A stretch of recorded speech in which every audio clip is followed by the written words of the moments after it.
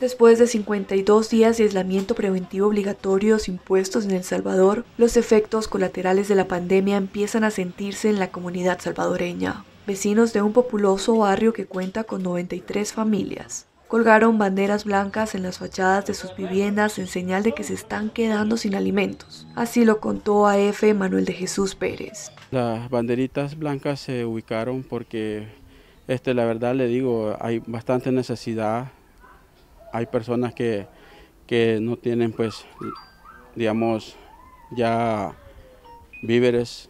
Miembro de la junta directiva de una sección de la residencia de Altavista.